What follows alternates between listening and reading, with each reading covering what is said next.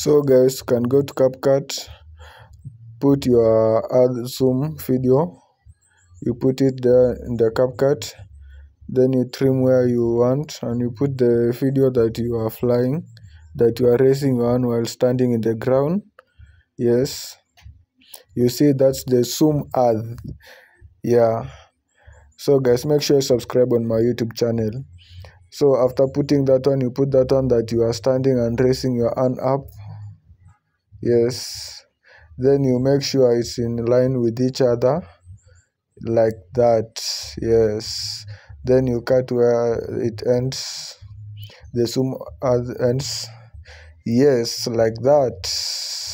Guys subscribe on my youtube channel. Make sure you leave a comment for me to go and see your channel. So what next you do?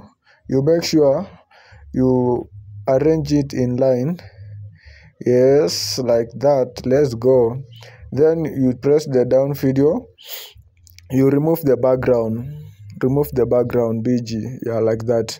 Now the clip will look like this. You'll be looking like you are flying going up. Yes.